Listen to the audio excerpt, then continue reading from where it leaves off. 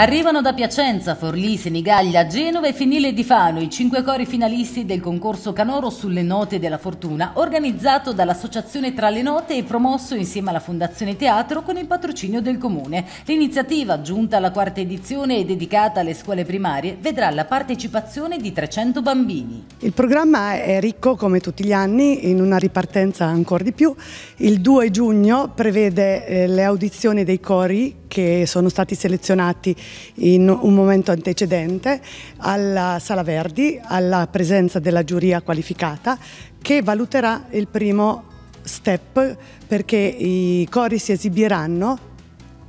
con base orchestra, quindi prima di incontrare l'orchestra e verranno valutati dalla giuria come primo ascolto in assoluto. Invece nella giornata di venerdì 3? La mattina i cori arriveranno e eh, faranno la prova, la prima vera prova con l'orchestra, perché quest'anno appunto la novità è l'orchestra. I, I cori saranno accompagnati dall'orchestra eh, con le parti arrangiate da Luigi Grigioni Faggi, quindi un'operazione abbastanza grande. La mattina quindi eseguiranno le prove in teatro e il pomeriggio invece ci sarà la serata finale, quindi diciamo la gara, una gara tra virgolette perché è una festa, dove verranno individuati tre vincitori che vincono una borsa di studio per proseguire i progetti corali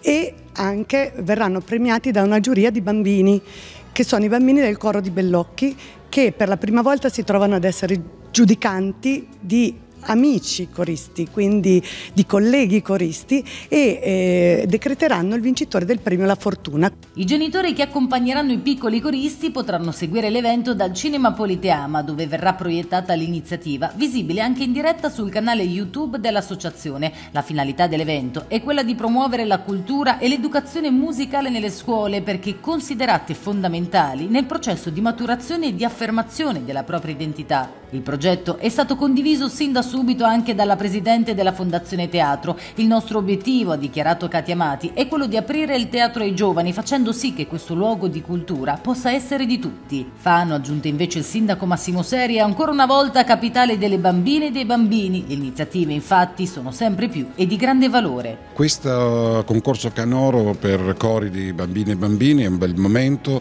eh, devo dire negli anni è cresciuto, ha avuto purtroppo l'interruzione della pandemia, ma qui c'è stata un'evoluzione ulteriore perché oltre ad esibirsi i cori con le bambine e bambini sono accompagnati anche da un'orchestra di giovani, eh, di ragazze e ragazzi, quindi è un inno alla giovinezza, un inno, è una valorizzazione dei nostri ragazzi, ma soprattutto eh, è una bella, bella iniziativa per la città, per chi viene e qui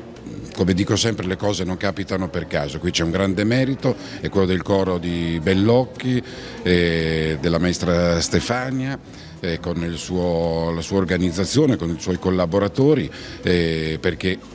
come dicevo le cose non capitano per caso, non è la fortuna, vanno preparate e qui c'è stata un'elaborazione, un'evoluzione che ha portato a questi grandi risultati, quindi grande soddisfazione ma soprattutto un grande grazie a chi rende possibile tutto questo.